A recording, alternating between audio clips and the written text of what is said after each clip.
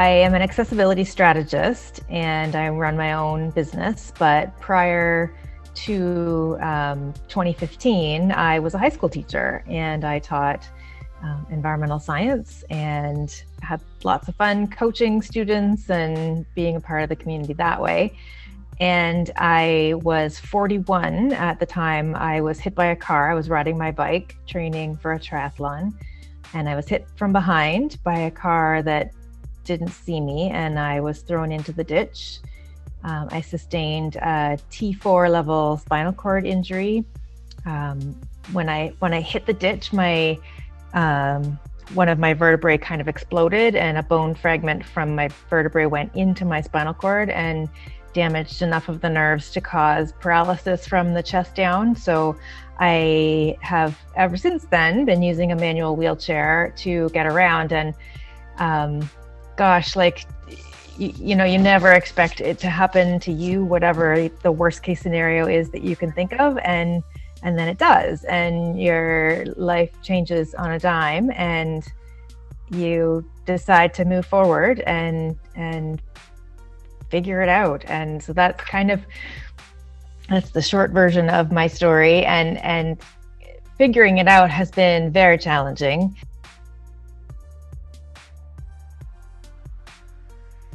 So here's a, an example of a basic thing that you would never think twice about.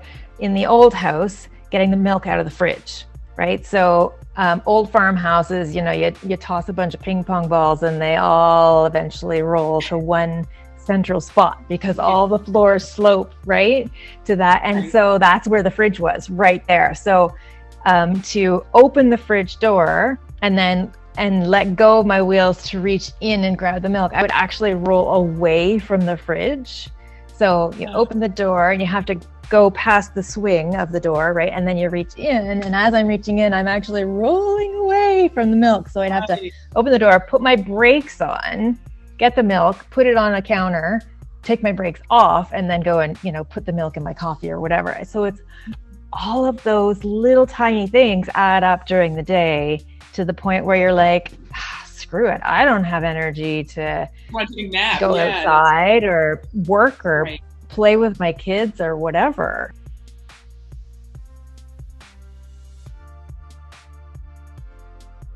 We spent way too long figuring out how to build an accessible home. There really was not a lot of information out there that was useful, um, up to date, and helpful for somebody who's trying to figure out how to design a space to be um, functional, safe, uh, ability to be independent, preserve dignity, all of the things that go with accessibility. And um, in the end, what I have learned is that accessibility isn't just about being able to get into a space, it's about being able to function and save energy like like personal physical energy right? And in doing that then you don't have to expend energy doing all the things that you have to do in life but you get to save energy and do the things that you want to do. Learning what to do to make this space right took a long time and, and we went through i think like 40 different 42 different versions of our house plan before we landed on the one that we thought that was going to work best. Mm-hmm. And uh, and in the end, when we moved in, I couldn't believe the difference that it made for my headspace, my my my ability to like cook and spend time with my kids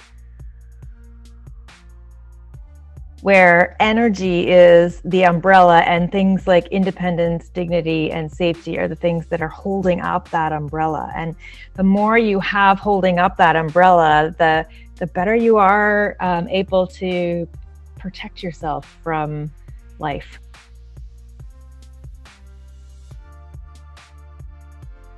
So no steps, no basement, right? Um, and and you know, well, if you don't have a basement, where's all your stuff? Well, we have to be creative with your storage, right? And um, the all of the basement stuff is in a mechanical room on the main floor. So if something is beeping or something shuts off or whatever, I can go into that mechanical room and you know at least do a diagnosis of what might have gone wrong if if there's a circuit that's tripped i can actually reach the circuit breaker because we turned it sideways and and uh, i can i can have access to it. I couldn't in the old house because it was in the basement.